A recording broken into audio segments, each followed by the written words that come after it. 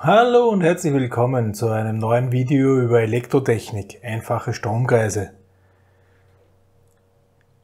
Wir haben schon viel gehört, wie man einfache Stromkreise berechnet. Ja, wir haben irgendwelche Knotenregeln, Maschenregeln, wir haben das Ohmsche Gesetz und so weiter, wir haben gelernt, was Quellen sind.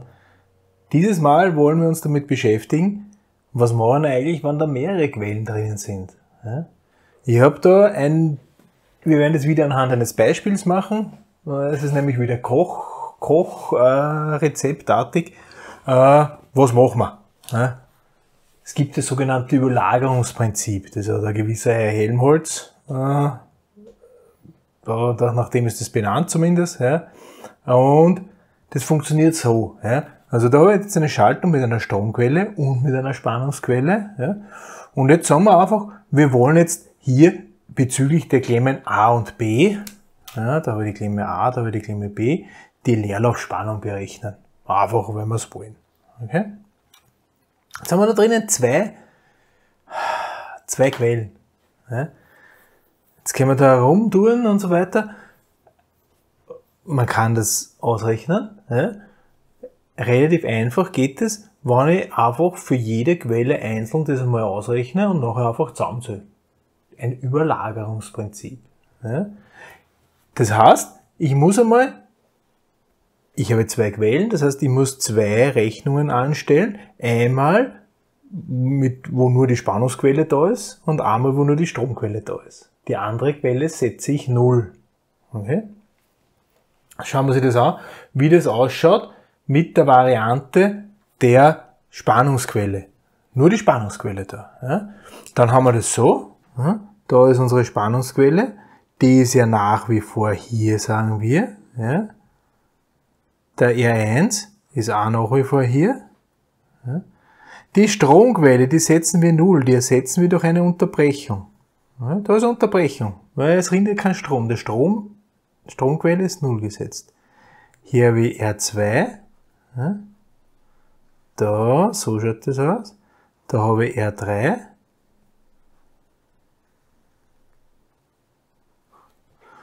Und da haben wir schließlich den Ausgang und da haben wir A und B. Ja, da haben wir R1, R2, R3 und schon habe ich nur mehr eine Quelle mit U0. Okay? So, was machen wir? Ja, wir fassen das so gut wie möglich zusammen. R1 und R2 sind parallel geschaltet. Ja, also wir haben hier nachher das schaut noch so aus. Da haben wir praktisch hier ein R12 und da unten haben wir ein R3.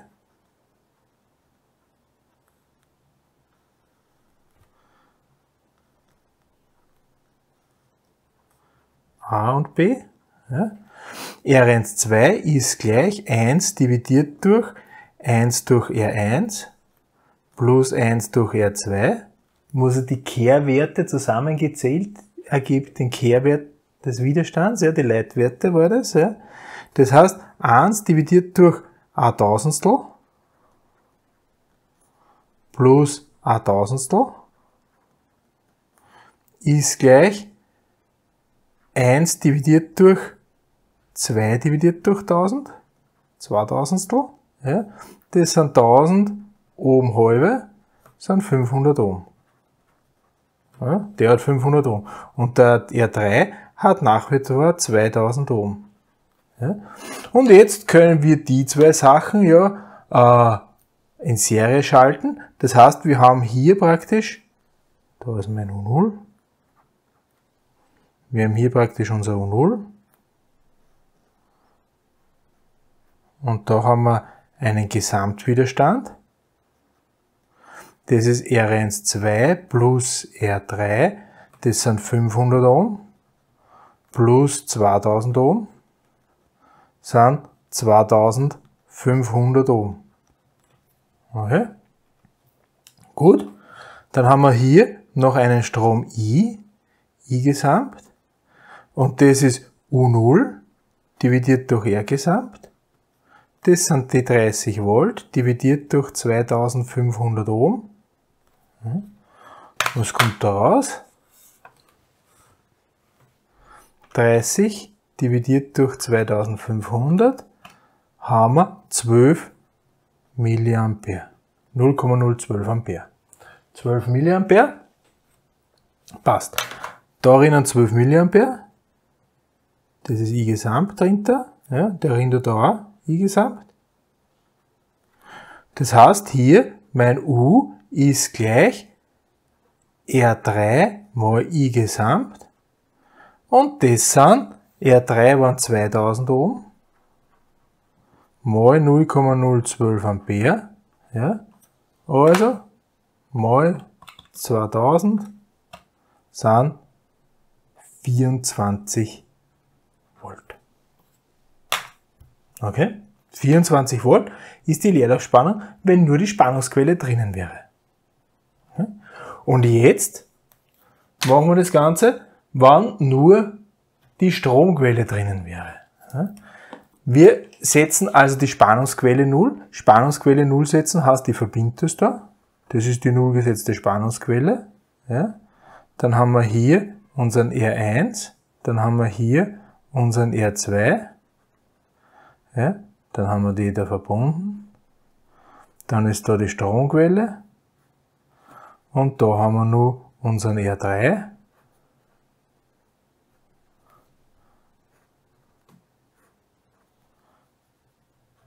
H, B. Da haben wir unseren I0, 200 Milli. So, und jetzt bin ich neugierig, wer das schon erkannt hat. Ja? Es ist, wäre nämlich folgendes, R1, R2 und R3 sind jetzt parallel geschaltet. Aber uns gar nicht mehr so ausschaut. Ne? Weil, pass auf, R1 verbindet diesen Punkt mit diesem Punkt. R2 verbindet diesen Punkt mit diesem Punkt. Und R3 verbindet diesen Punkt mit diesem Punkt. Also alle verbinden den Punkt da mit dem Punkt. Also eigentlich schaut das ja ganz genauso aus, wie wenn ich das so zeichnen würde. Ja? R1, R2, R3,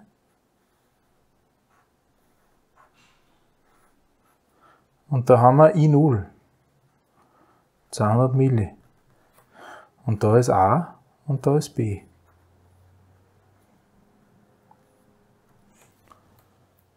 Das ist äquivalent, diese zwei Darstellungen. Schauen wir uns das an. Der Punkt da, ja, der Punkt da, ist der da.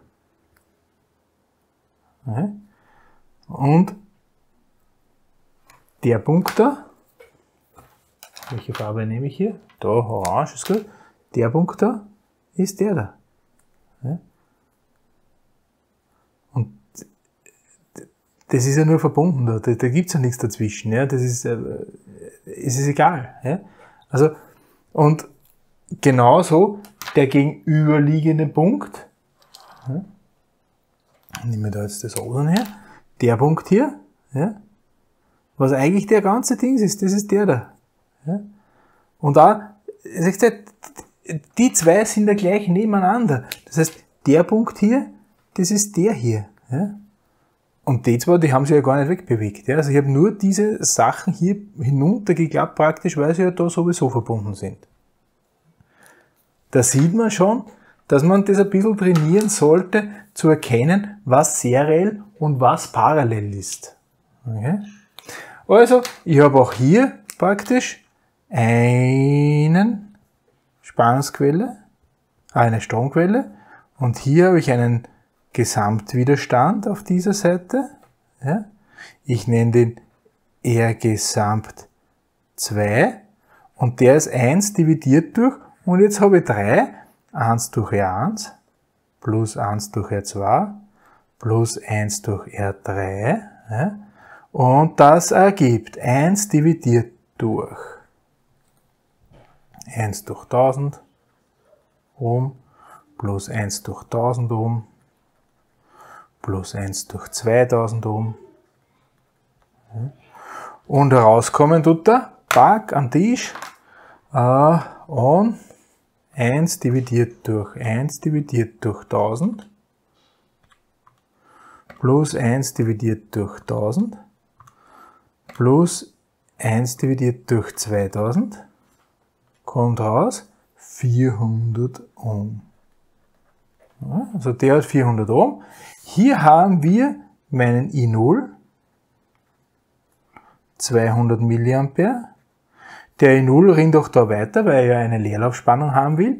Das heißt, meine, mein U ist gleich R Gesamt 2, ich nenne das U2, ja,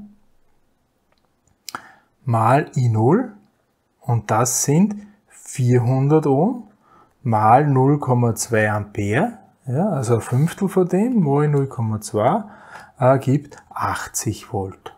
Uh, ja. Okay, das heißt, aufgrund der Spannungsquelle habe ich eine Leerlaufspannung von 24 Volt. Aufgrund der Stromquelle habe ich eine Leerlaufspannung von 80 Volt. Das heißt, meine gesamte, ich nenne das jetzt U1,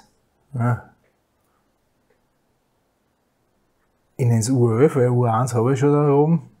Naja. Ja. Das heißt, mein U, mein gesamtes U, meine gesamte Leerlaufspannung U ist gleich mein, meine Leerlaufspannung U11, die da, ja, plus U2. Ich nenne das 2,2 auch, weil U2 hätte ich ja auch, U2,2, wunderbar, jetzt passt das zusammen. Ja? Also meine, meine Leerlaufspannung aufgrund der Spannungsquelle plus meine Leerlaufspannung aufgrund der Stromquelle.